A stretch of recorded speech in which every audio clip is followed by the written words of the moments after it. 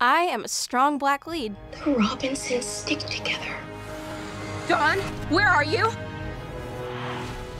The first performance I remember watching when I was a little girl, well, just an overall performance in the color purple, yeah, really struck a chord in me because I saw girls and women who looked like me or who looked like the woman in my family. I think it's important to see people that look like you.